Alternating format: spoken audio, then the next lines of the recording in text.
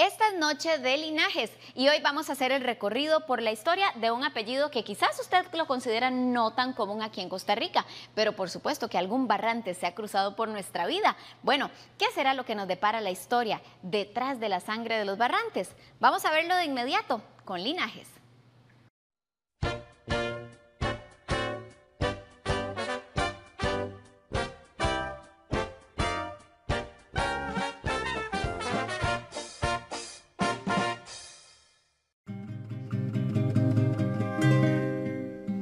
Muy bien, don Juan. Cuando vosotros queráis, podemos empezar con vuestro testamento. En nombre del Padre, del Hijo y del Espíritu Santo, yo, don Juan Zanabria Maldonado, natural de la villa del Alcántara, España, doy fe que estoy en todas mis facultades para dictar mi testamento. Don Juan no estaba enfermo, tampoco agonizaba. Hacía su testamento porque salía de viaje. Y en aquella época no era tan fácil saber si se iba a volver. Su esposa y él vivían solos. Nunca tuvieron hijos. Pero, curiosamente, de él descienden miles de costarricenses. El fundador del apellido Barrantes en Costa Rica es Juan Sanabria Maldonado y puede parecer un poco curioso, ¿verdad? Porque no, no tiene el apellido Barrantes.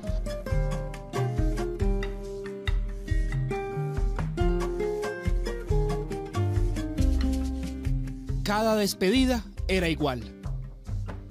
Don Juan viajaba mucho y doña Juana de Figueroa y Moscoso se quedaba sola con el corazón en la mano.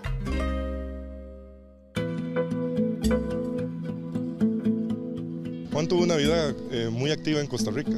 Se dedicó al comercio, también eh, entró a las milicias, donde fue alférez real, fue alcalde ordinario de la ciudad y comerciaba de Caldera a Panamá con sus cuñados. Entonces enviaba harina, bizcochos, ajos y anís.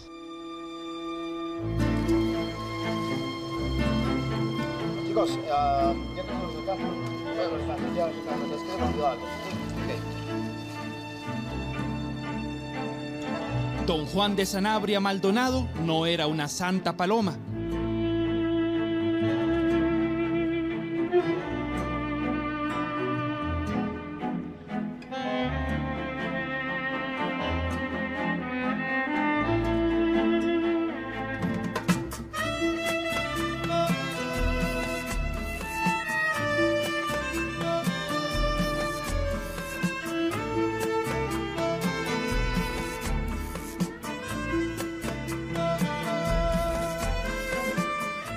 No conocemos el nombre de su amante.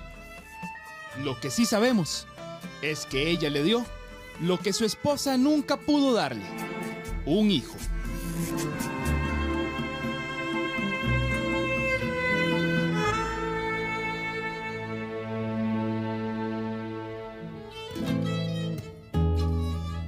Juan sí tuvo un hijo fuera de su matrimonio que se llamó Nicolás. Fue sargento en las milicias, que era un cargo relativamente bajo.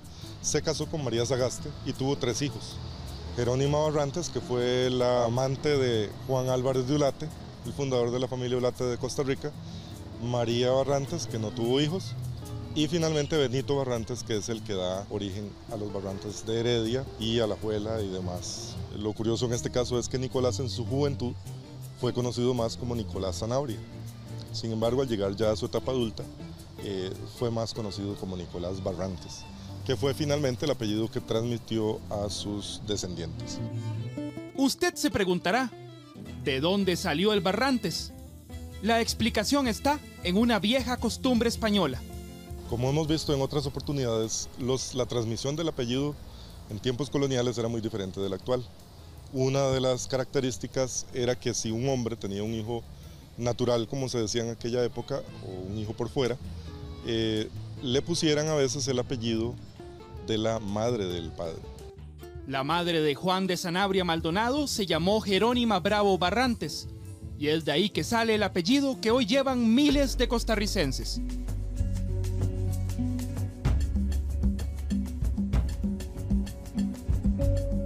Pero no todos los barrantes de Costa Rica vienen de Juan y su hijo Nicolás.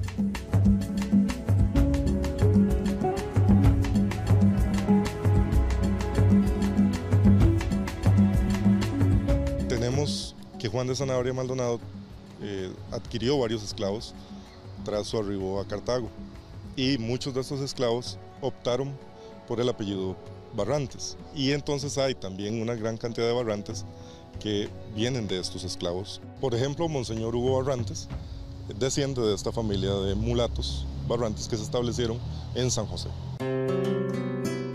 Actualmente en Costa Rica hay 29.100 personas de primer apellido Barrantes y 28.800 lo tienen de segundo apellido.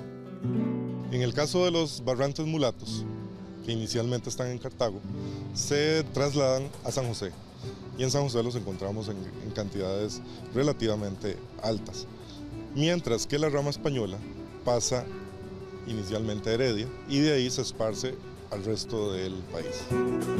Resulta increíble pensar que lo que hicieron personas hace cientos de años determina parte de lo que somos hoy.